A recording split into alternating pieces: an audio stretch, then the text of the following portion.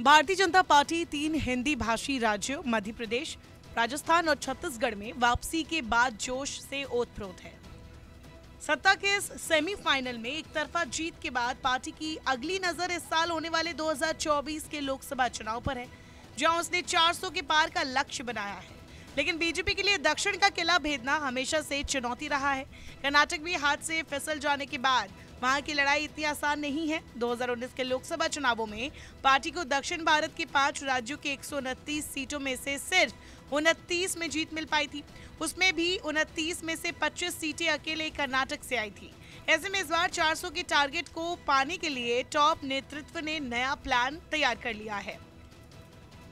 PM Modi के mission south के तहत 40-50 सीटें जीतने पर पार्टी का ज़ोर रहेगा। जानकारी के मुताबिक प्रधानमंत्री मोदी के नेतृत्व में बीजेपी का दक्षिण में जोरदार प्रदर्शन करने का इरादा कम नहीं हुआ है। आने वाले दो महीनों में प्रधानमंत्री इन दक्षिण के पाँच राज्यों में खूब प्रचार करेंगे और विकास की कई योजनाएँ भी शुरू करेंगे। प्रधानमंत्री नरेंद्र मोदी बीते दिनों तमिलनाडु के दौरे पर थे, जहाँ उन्होंने बीस हज़ार करोड़ रुपए की कई विकास परियोजनाओं का शुभारंभ किया। इनमें एक शानदार नया हवाई अड्डा भी शामिल है। इस हवाई अड्डे के बनने से राज्य के हवाई संपर्क में काफ़ी सुधार होगा और पर्यटन को बढ़ावा मिलेगा। वही प्रधानमंत्री मोदी बुधवार को केरल में थे, जहाँ उन्होंने त्रिशूर में एक भव्य रोड शो और एक जनसभा को संबोधित किया। पार्टी सूत्रों के मुताबिक इन जनसभा में लगभग दो लाख बीजेपी महिला कार्यकर्ता शामिल हुई। ये कांग्रेस की ओर से बीजेपी के दक्षिण में कमज़ोर होने के दावों के बाद बीजेपी का एक बड़ा शक्ति प्रदर्शन माना जा रहा है।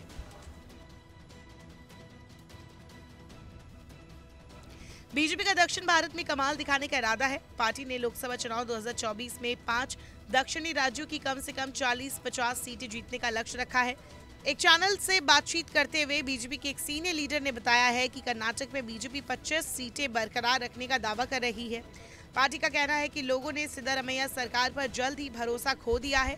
विधानसभा चुनाव में हार के बावजूद पार्टी का वोट शेयर नहीं गिरा।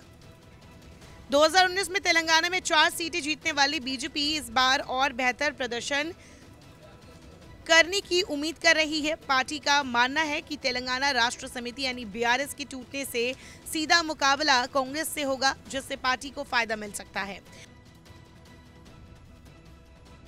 बीजेपी के निशाने पर केरल, तमिलनाडु और आंध्र प्रदेश भी है। पार्टी इन राज्यों में भी कुछ सीटें जीतने की उम्मीद कर रही है। बीजेपी की केरल में राहुल गांधी के खिलाफ वायनाड से मज़बूत उम्मीदवार खड़ा करने की तैयारी है। सीनियर लीडर ने बताया कि चुनाव प्रचार में प्रधानमंत्री नरेंद्र मोदी और अमित शाह की रैलियों में दक्षिण पर खास ज़ोर रहेगा। पार्टी मोदी के नाम पर वोट मांगने की तैयारी में है। तमिलनाडु में इस बार सीन कुछ अलग होने वाला है। उसकी दक्षिण की दोस्त एआईएडीएम के साथ नहीं होगी। उसने पिछले साल ही एनडीए से नाता तोड़ लिया। बीजेपी इस बार अकेले चुनाव मैदान में उतरेगी। एआईएडीएमके को उभरते बीजेपी नेता और प्रदेश प्रमुख अन्ना मलाई के तेज तर्रार रवैये से आपत्ति थी।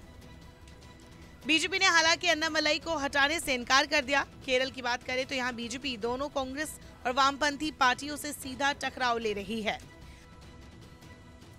पार्टी राहुल गांधी के खिलाफ वायनाड से मज़बूत उम्मीदवार खड़ा करने की तैयारी में है।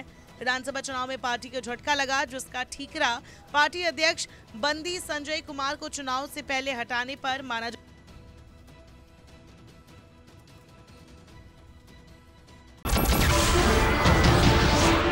नमस्कार, मैं हूँ मानक गुप्ता। अगर आपको हमारा ये वीडियो पसंद आया हो तो इसे लाइक और शेयर ज़रूर करें। और हाँ, हमें सब्सक्राइब और फॉलो करना ना भूलें। ताकि आप देश और दुनिया की कोई खबर मिस ना करें। तो जुड़े रहिए हमारे साथ और देखते रहिए न्यूज़ 24